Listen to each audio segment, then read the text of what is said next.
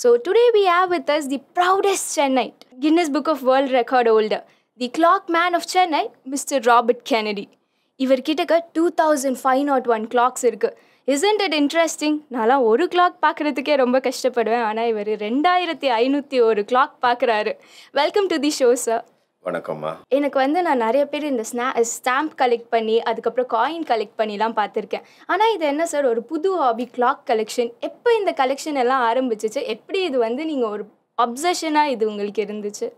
இந்த கலெக்ஷனோட ஸ்டோரி எப்படின்னா எப்படி இது ஸ்டார்ட் ஸ்டார்ட் ஆச்சுதுன்னா என்னோட தாத்தா வந்து மூணார்னு ஒரு எஸ்டேட்டில் ஆயிரத்தி தொள்ளாயிரத்தி இருபதுகளில் ஹெட் கிளர்க்காக வேலை பார்த்துருக்காங்க. அப்போ வெள்ளைக்காரங்க வந்து இந்தியர்களுக்கு வந்து மேனேஜரல் போஸ்ட் கொடுத்ததே கிடையாது.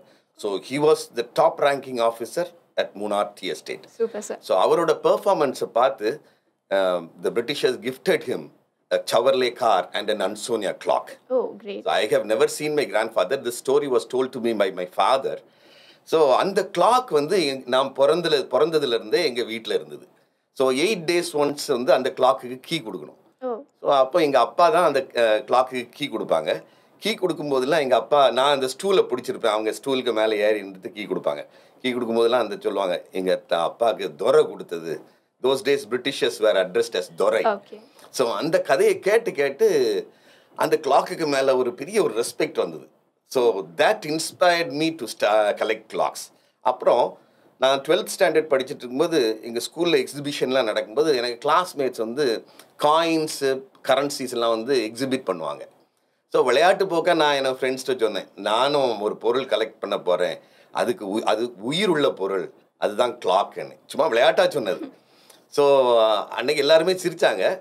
So then I started collecting one by one so this is how my collection start and அந்த உயிருள்ள பொருள் தான் வந்து இன்னைக்கு உங்களுக்கு கின்னஸ் ரெக்கார்டே வாங்கி கொடுத்துருக்கு சார் ஆமா. ஆனா நான் இந்த மாதிரி எல்லாம் பெரிய ஒரு அங்கீகாரம் கிடைக்கும்னு நினைச்சிட்டு கலெக்ட் பண்ணல. ரெண்டாயிரத்தி அஞ்சுக்கு அப்புறம் தான் நான் கண்டுபிடிக்கிறேன் இந்த இது வந்து கலெக்ஷன் வந்து யூரோப்ல வந்து பயங்கரமான ஒரு ரெக்கக்னைஸ்ட் ஹாபின்னு இன் இந்தியாவில் நமக்கு இது வந்து இன்னும் அங்கீகரிக்கப்படலை. யாருமே இது பண்ணல ஆக்சுவலாக பெருசாக என்ன கிளாக் கலெக்ஷன் ஒரு பெருசாக இது பண்ணலை. ரெண்டாயிரத்தி அஞ்சுக்கு பிறகு தான் நான் இந்த சேனல்ஸில் நான் டிவி சேனல்ஸ்லாம் பார்க்கும்போது ஹிஸ்ட்ரி சேனல்லாம் பார்க்கும்போது அங்கே யூரோப்பில் வந்து இது பெரிய ஒரு அங்கீகரிக்கப்பட்ட ஹாபி ஹாபி அதுக்கப்புறம் இன்டர்நெட்லாம் நல்லா வந்த பிறகு நான் பார்க்குறேன். அமெரிக்காலெல்லாம் கிளாக் மியூசியம் அந்த காலத்துலேயே ஆயிரத்தி தொள்ளாயிரத்தி நாற்பதுகளிலே கிளாக் மியூசியம்ஸ்லாம் வச்சுருக்காங்க. So then I started telling my wife நம்ம கலெக்ஷன் வந்து நம்ம இன்டர்நேஷ்னல் ஸ்டாண்டர்ட்ஸில் கொண்டு போகலாம் அப்படி சொல்லும் போதெல்லாம் என் ஒய்ஃப் சொல்லுவா உனக்கு எல்லாமே நீ கதை விடுறது மாதிரி இருக்குதுன்னு நோபடி பிலீவ்ட் இப்படி தான் என் கலெக்ஷன் ஸ்டோரி ஓகே சார் நீங்கள் எத்தனை விதமான கிளாக்ஸ் உங்கள் கிட்டக்க இருக்கு சார் நம்மகிட்ட இருக்கிற கிளாக்ஸ் எல்லாமே மெக்கானிக்கல் கிளாக்ஸ் ஒண்ணுமே பேட்டரி ஆப்ரேட்டட் கிடையாது. அதான் பேட்டரி இல்லாமல் மெக்கானிக்கல் கிளாக் கலெக்ஷன் சொல்லும் சொல்லும்போது என்னன்னா ஒரு ப்ராடக்ட் வந்து இன்னைக்கு இப்போ கடையில் கிடைக்கும்னா அதை கலெக்ஷன் அதை போய் வாங்கி வச்சுட்டு நான் கலெக்ட் கலெக்ஷன் சொல்லவே முடியாது. ஒரு அவுடேட்டட் ப்ராடக்டை க வச்சிருக்கிறது தான் கலெக்ஷன் அதான் collectible product so moreover another thing நீங்கள் ஒரு மெக்கானிக்கல் கிளாக்கு நீங்கள் ஓப்பன் பண்ணி பார்க்கும்போது அதில் அவ்வளோ மிஷின்ஸ் அவ்வளோ பயங்கரமாக இருக்கும். வீல்ஸ் எல்லாம் அப்படி இருக்கும். ஒரு பேட்டரி கிளாக்கில் நீங்கள் பார்த்தீங்கன்னா ஒரு பிசிபி தான் இருக்கும். ஒரு அதில் ஒரு த்ரில்லே கிடையாது.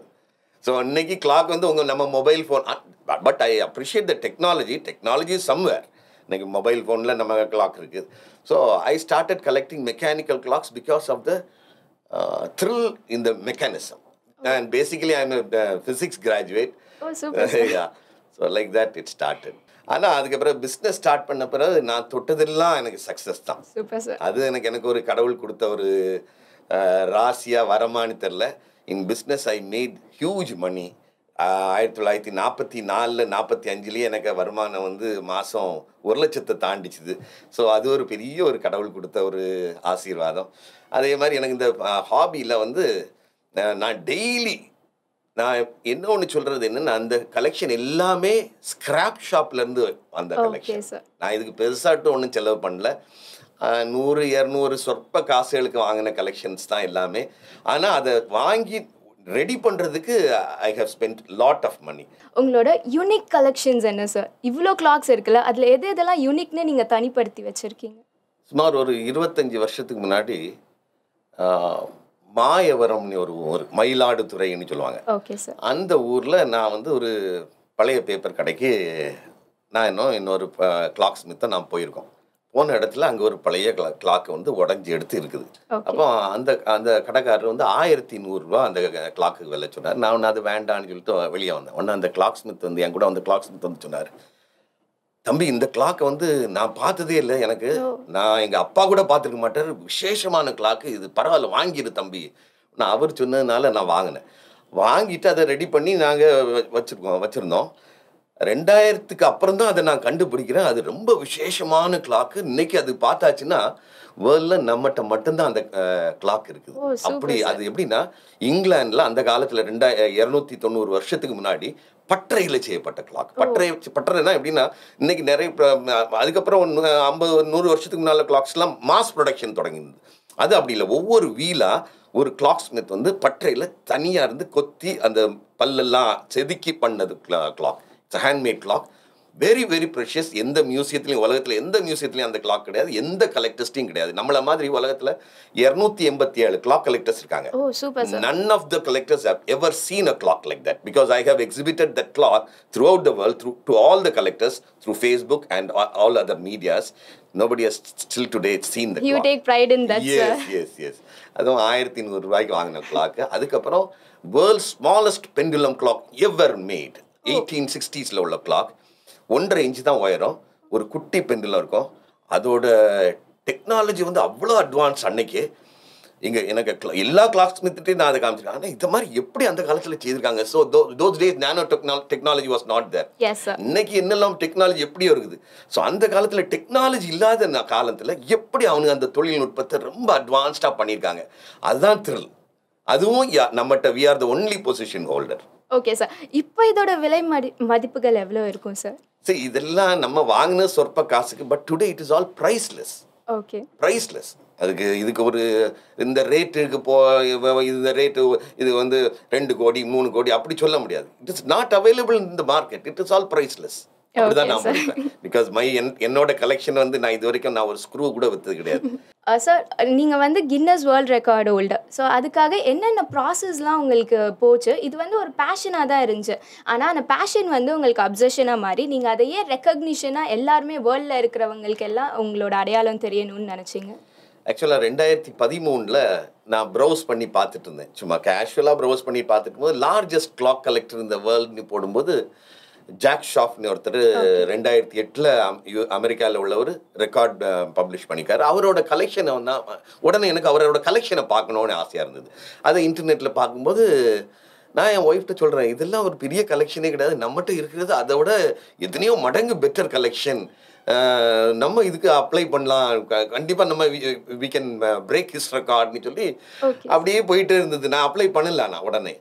ரெண்டாயிரத்தி பதினாறில் I started apply okay sir for some reasons our application was going on rejected reject பண்ணிட்டே இருந்தாங்க.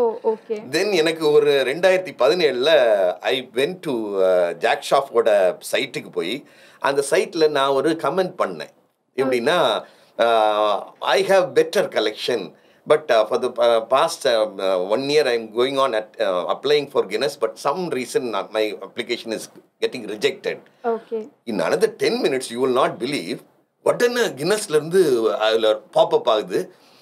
You can why don't you apply நவ்னு ஆமா அன்னைக்கு ராத்திரி இருந்து நான் டூ தௌசண்ட் சிக்ஸ்டீனில் எனக்கு ஃபோனில் நான் அப்ளை பண்ணுறேன் within few second few minutes our application was accepted எனக்கு இதில் ஒரு மெயில் வருது.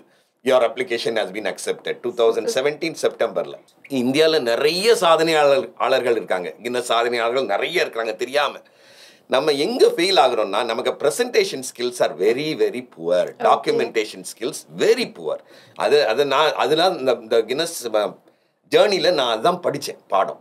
எப்படின்னா ரெண்டாயிரத்தி பதினேழில் நம்ம அப்ளிகேஷன் அக்செப்ட் ஆகுது. ரெண்டாயிரத்தி இருபத்தி ரெண்டு நவம்பர் மூணாம் தேதி ராத்திரி தான் நமக்கு கின்னஸ் கிடைக்குது.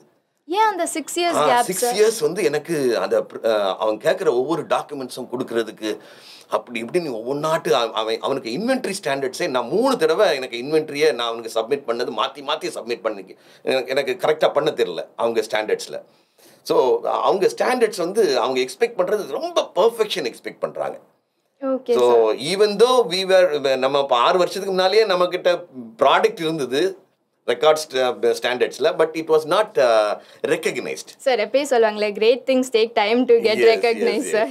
So உங்களோட நெக்ஸ்ட் அடுத்தடுத்து நீங்கள் என்ன பண்ணலான்னு இருக்கீங்க? What are your next plans see next plan is my final plan is to move this collection to to a museum இப்போவுமே ஒரு சின்ன மினி மியூசியம் தான். ஸோ என்னோட காலத்துக்கு முன்னாடி இதை வந்து ஒரு மியூசியத்தில் போட்டு ஒரு சிஸ்டம் ஆக்கி வச்சா தான் இது பாதுகாக்கப்படும். அல்லாட்டினா என் காலத்துக்கு பிறகு இதை மெயின்டைன் பண்ண முடியாது. ஸோ இதை ஒரு ப்ரிசர்வ் பண்ணுறதுக்கு ஃபார் எவர் ப்ரிசர்வ் பண்ணணும்னா it has to be preserve only in a museum so நீங்கள் இதுக்காக கவர்மெண்ட் கிட்டக்கெல்லாம் அப்ரோச் பண்ணியிருக்கீங்களா? கவர்மெண்ட் கிட்ட அப்ரோச் பண்ணுறதுக்கு எனக்கு எந்த வழின்னு தெரில ஸோ uh, என்னோட ஒரு இடம் இருக்குது. யாருமே எனக்கு ஹெல்ப் பண்ணலன்னா I I will be selling that property and நான் மகாபலிபுரம்னு ஒரு இடத்த நான் ஸ்பாட் அவுட் பண்ணியிருக்கேன். Uh, அந்த இடத்துல நான் ஒரு ஒரு கிரவுண்ட் வாங்கி ஒரு ஆறாயிரம் ஸ்கொயர் ஃபீட் போட்டு அதில் பண்ணணும்னு வச்சுருக்கிறேன். ஸோ அது அது போட்டால் கூட சரியாக வராது. என்கிட்ட இருக்கிறது ஒரு டூ பாயிண்ட் ஃபைவ் க்ரோஸ் அந்த ப்ராப்பர்ட்டி விற்றா வரும். ஸோ கவர்மெண்ட் சப்போர்ட் பண்ணலன்னா I will go in my style in one one one கோலில் நான் போனோம் போனோன்னு இருக்கிறேன். எத்தனை கிளாக்ஸ் உங்கள் கிட்டக்க இருக்கிற இந்த two thousand five hundred and ஒனில் ஒர்க்கிங் கண்டிஷன்ஸில் இருக்குது எல்லாமே நம்மகிட்ட இருக்கிற அந்த நான் சொல்கிற கிளாக்ஸ் அவ்வளோவுமே ஒர்க்கிங் கண்டிஷன்ஸ் தான். என்கிட்ட இன்னும் ஒரு முந்நூறு நானூறு கிளாக் இருக்குது அதெல்லாம் இன்னும் நம்ம ரெடி பண்ணணும். அதெல்லாம் அந்த கலெக்ஷனில் சேர்க்கல நான் ஒர்க்கிங் கண்டிஷனில் உள்ளது தான் நம்ம சொல்லியிருக்கோம். So two thousand five hundred clocks நம்மகிட்ட இருக்குது ஆனால் கின்னஸ் வந்து அங்கீகரித்தது வந்து thousand seven naught six clocks தான் அங்கீகரித்தாங்க அங்கீகரிச்சாங்க.